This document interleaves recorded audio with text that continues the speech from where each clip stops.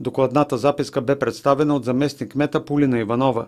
Разходите за чистота на територията на общината са предвидени в размер на около 5 милиона и 900 хиляди лева за осигуряване на съдове за съхраняване на битовите отпадъци, тяхното събиране и транспортиране до депата или други инсталации и съоръжения за третирането им. За следващата 2023 година се предвижда планиран приход от такса битови отпадъци отново в размер на 6 милиона лева, при запазване действащите размери на таксите за битови отпадъци, което ще обезпечи приходната част на бюджета спрямо общата стойност на предложените план сметки за 2023 година. Предвид на това, за 2023 година общинска администрация няма да предложи увеличение на приходите от такса битови отпадъци чрез промяна на размерите им.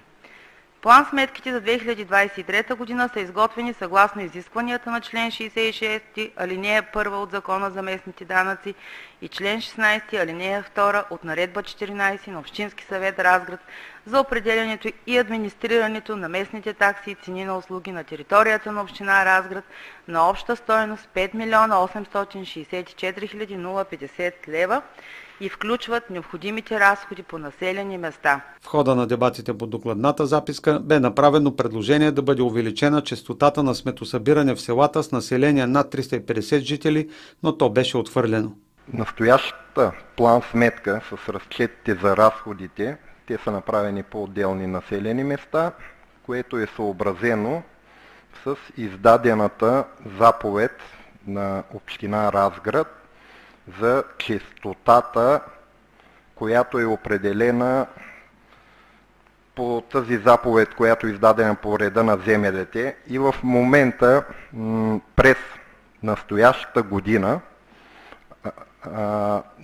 няма правна възможност да се коригира тая заповед.